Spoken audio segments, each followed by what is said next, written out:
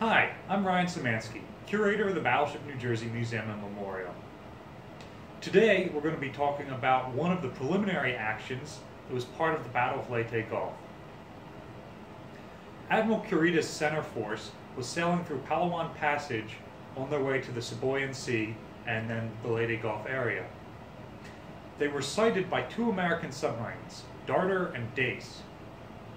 The American submarines were able to maneuver into a firing position despite the 15 Japanese destroyers on anti-submarine patrol and fire multiple spreads of torpedoes.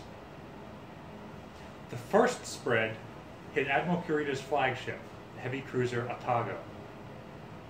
Four torpedoes sunk the cruiser so rapidly that Kurita had to swim to safety. He was rescued by a destroyer and transferred to the battleship Yamato, which would be his flagship for the remainder of the action.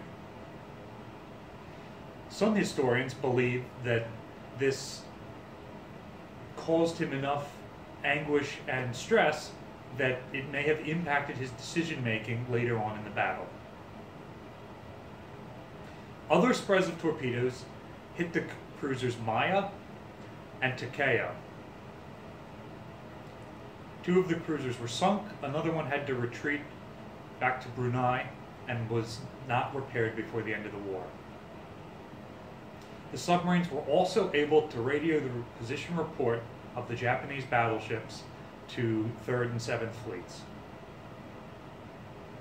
This went very much against the Japanese battle plan, which was relying on the northern aircraft carriers being spotted prior to the center or southern forces battleships. Because the carriers had not yet been sighted, Halsey was able to make a series of air attacks on Kurita's battleships as they went through the Sibuyan Sea. This resulted in the Japanese super battleship Musashi being sunk and many of his other ships being damaged. Thank you for listening today. Tune back in later for more content. And special thank you to George Leone for contributing much of the history that we're relaying this month.